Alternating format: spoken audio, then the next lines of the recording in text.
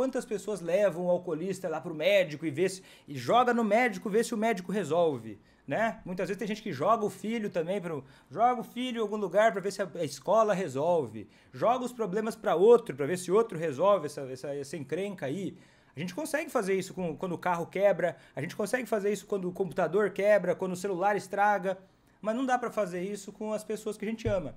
Né? Entrega na mão de alguém, porque quer saber? Ninguém se importa tanto assim quanto você. Ninguém. Melhor que seja do mundo. Vou ser bem honesto com você. Eu me importo com os meus pacientes, me importo, poxa, me importo mesmo, né? É, é uma coisa, e conheço vários profissionais que se importam de verdade. Só que é impossível, não, não, não tem lógica algum profissional, alguém, por mais capacitado que seja, por mais bom ser humano que seja, que vai se importar mais do que você com a vida do seu marido, por exemplo.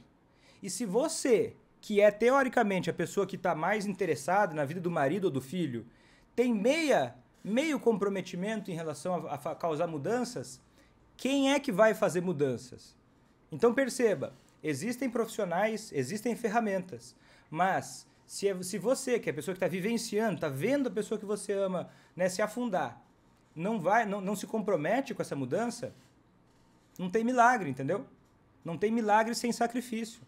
Não tem aquela história que Deus ajuda quem cedo madruga? Então, as coisas têm que vêm através de um ato de compromisso. E quando a gente se compromete com, uma, com, uma, com, uma, com um objetivo, o universo conspira a nosso favor.